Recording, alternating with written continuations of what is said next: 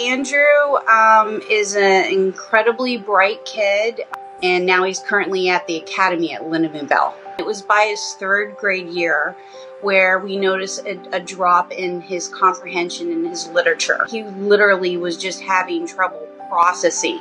And so we got him tested. They discovered he had CAPD. He's done more work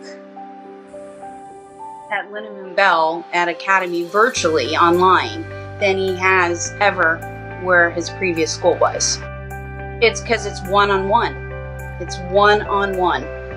So he has to be completely engaged the entire time.